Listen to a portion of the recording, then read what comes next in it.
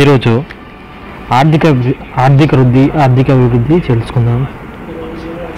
ఆర్థిక వృద్ధి అంటే ఒక దేశం యొక్క వాస్తవిక వస్తు సేవల ఉత్పత్తిలో పెరుగుదల కనబడితే పెరుగుదలను సూచిస్తుంది ఆర్థిక వృద్ధి. అదే వృద్ధితో ఆర్థిక వృద్ధితో పాటు ఆర్థిక వ్య- వ్యవస్థపరమైన మార్పులను తెలియజేస్తుంది ఆర్థిక అభివృద్ధి.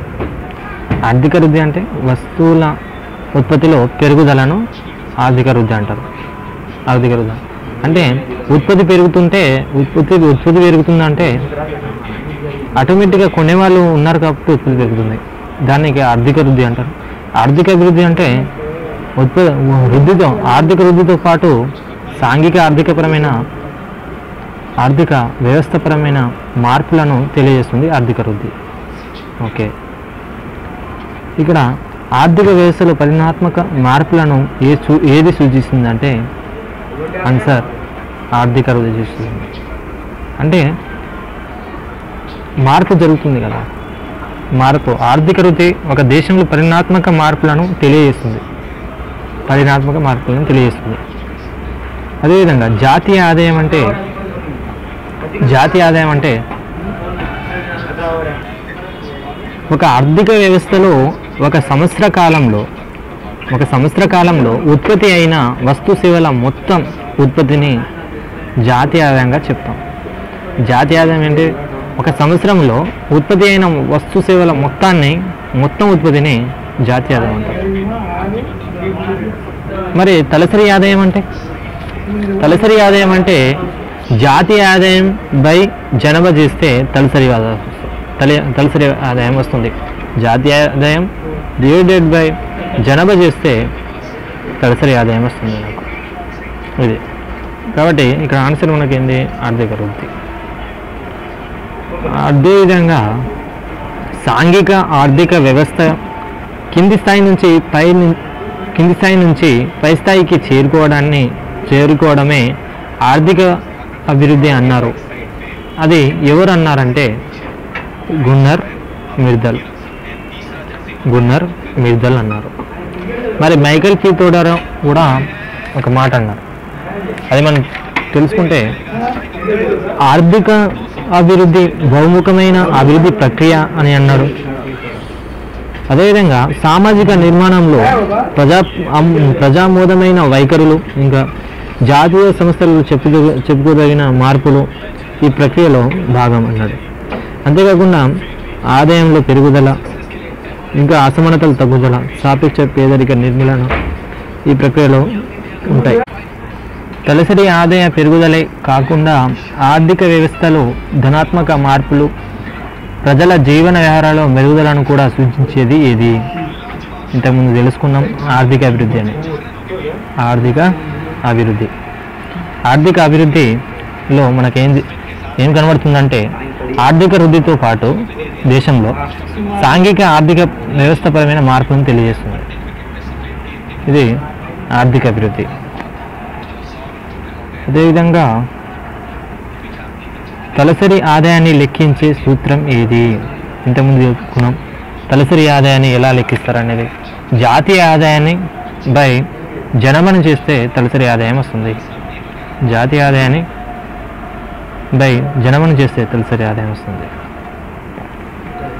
అదేవిధంగా భౌతిక జీవన ప్రమాణ సూచి పీక్యూఎల్ఐను నిర్మించడానికి ఆయుధాధ్యాయం ఆయుధాధ్యాయం అక్షరస్యతో పాటు వేటిని పరిగణలోకి తీసుకుంటారు?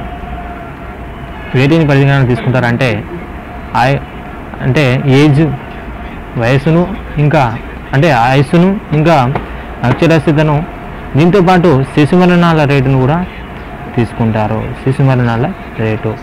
ఎందుకంటే శిశు మరణాలు తక్కువ ఉంటే అసలు శిశు మరణాల రేటును ఎలా లెక్కిస్తారంటే శిశు మరణాల రేటును ఎలా లెక్కిస్తారంటే సజీవంగా పుట్టిన ప్రతి వెయ్యి మంది పిల్లలలో సంవత్సరం పూర్తి అయ్యేసరికి ఎంతమంది చనిపోతున్నారో తెలియజేసే సంఖ్య.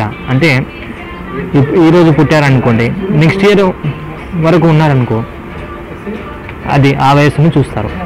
అంటే ఏడాదిలోపు ఎంత సంఖ్య అనే అంటే శిశుమరణాల సంఖ్యను చూసుకుంటారు. సజీవంగా పుట్టిన ప్రతి వెయ్యి మంది పిల్లలను సంవత్సరం పూర్తయ్యేసరికి ఎంతమంది చనిపోతున్నారని తెలియజేసే సంఖ్యను శిశుమరణాల అని అంటాం. ఇది. కాబట్టి మనకి ఇక్కడ ఆన్సర్ ఏంటంటే భౌతిక జీవన ప్రమాణ సూచి పీక్యూఎల్ఐను నిర్మించడానికి ఆయుర్ద ఆయుర్దాయం అదేవిధంగా అక్షరంతో పాటు శిశు మరణాలు కూడా పరిగణనలో తీసుకుంటారు. నెక్స్ట్ చూసుకుంటే మానవ అభివృద్ధి సూచికను యుఎన్డిపి ఆధ్వర్యంలో ఎవరు రూపొందించారు?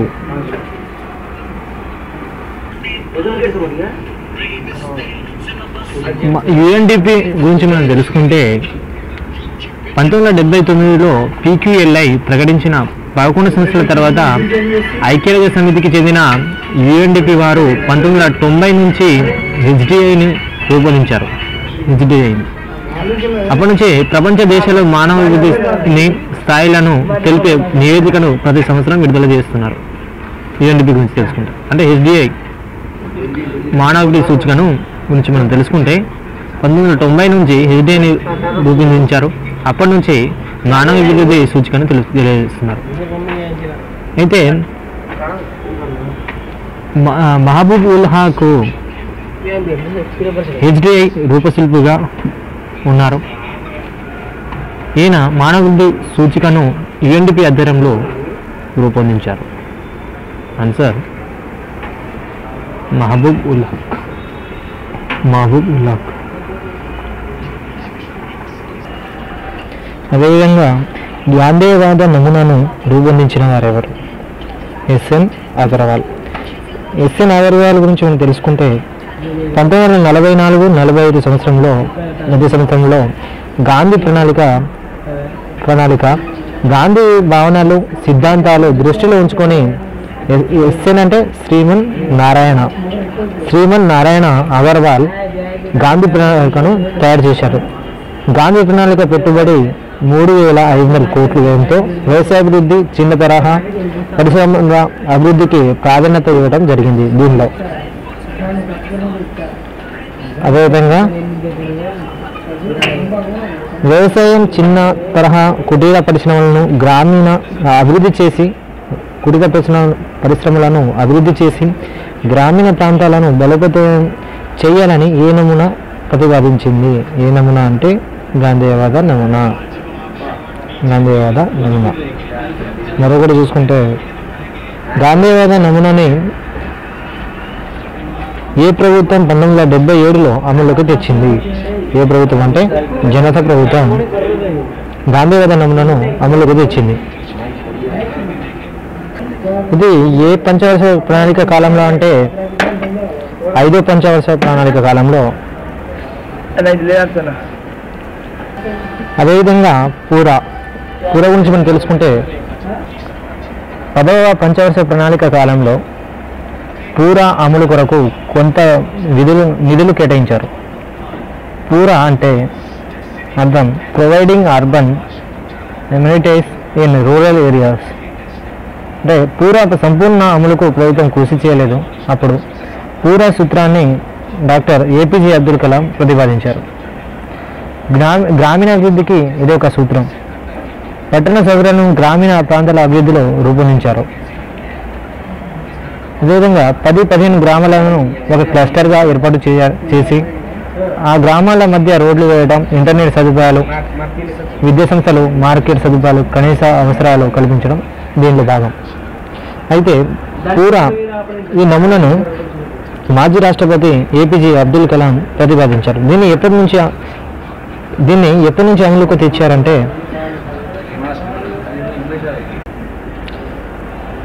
దీన్ని రెండు వేల నాలుగు ఐదు సంవత్సరాల మధ్యలో తెచ్చారు. రెండు వేల నాలుగు ఐదు సంవత్సరాలు ఆన్సర్. అదేవిధంగా గ్రామీణ ప్రాంతాల దోపిడీని గురించి గాంధీజీ ఏ పత్రికలో వివరించారు? గ్రామ స్వరాజ్యం అనే పత్రికలో గ్రామం గ్రామ గ్రామంలో జరుగుతున్న ప్రాంత గ్రామీణ ప్రాంతాల దోపిడీని గురించి గాంధీజీ గ్రామ స్వరాజ్యం అనే పత్రికలో వివరించారు.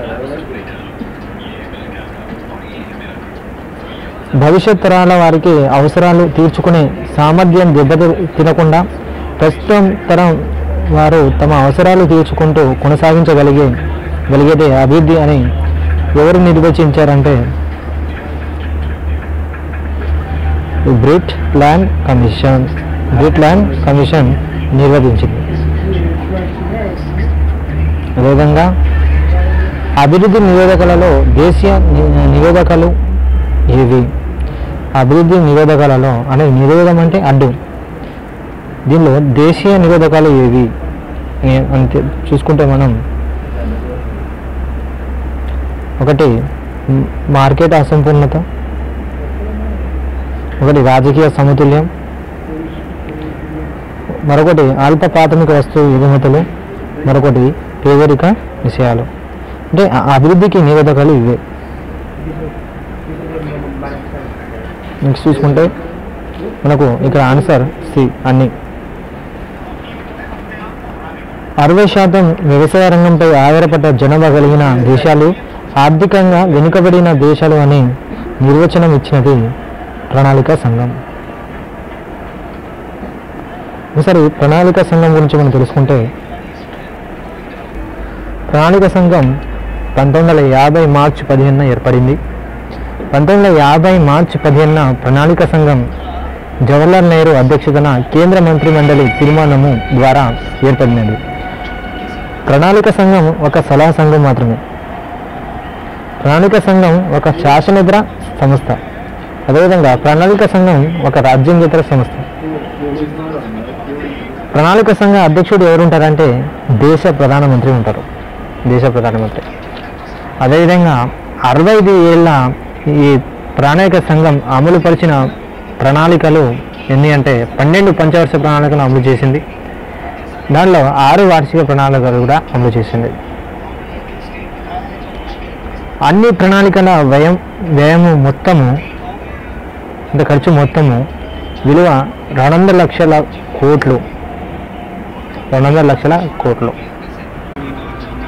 అదేవిధంగా ఒకసారి మనం చూసుకుంటే పంతొమ్మిది వందల ముప్పై నాలుగు నుండి పంతొమ్మిది వందల యాభై సంవత్సరం వరకు చాలా ప్రణాళికలు వచ్చాయి.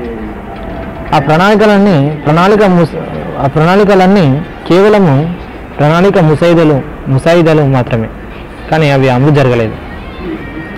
అవి ఎక్కడ అమలు జరగట్లేదు ఇక్కడ ప్రణాళిక సంఘం అన్నది. ప్రణాళిక సంఘం అని ఏం చెప్పిందంటే ఏం చెప్పిందంటే అరవై శాతం వ్యవసాయ రంగంపై ఆధారపడ్డ జనాభా కలిగిన దేశాలు ఆర్థికంగా వెనుకబడిన దేశాలు అని నిర్వచనం ఇచ్చింది. ఇదంటే ప్రణాళిక సంఘం. నెక్స్ట్ చూసుకుంటే గాంధేయవాద నమూనాకి సంబంధించి ఈ కింది వాటిలో ఏది కరెక్ట్? ఏది కరెక్ట్ అంటే ప్రొఫెసర్ ఎస్ఎన్ అగర్వాల్ పంతొమ్మిది నలభై నాలుగులో ఈ నమూనాను ప్రతిపాదించారు. ఇంతకుముందు చెప్పుకున్నాను. జనతో ప్రభుత్వం ఈ నమూనా అమలులో భాగంగా జిల్లాలో పరిశ్రమల కేంద్రాన్ని ఏర్పాటు చేసింది. ఇది కూడా రైటే చెప్పుకున్నాం ఆన్సర్ ఏంది మనకు ఇప్పుడు? రెండు రైట్ కాబట్టి వన్ టూ పదిహేను డి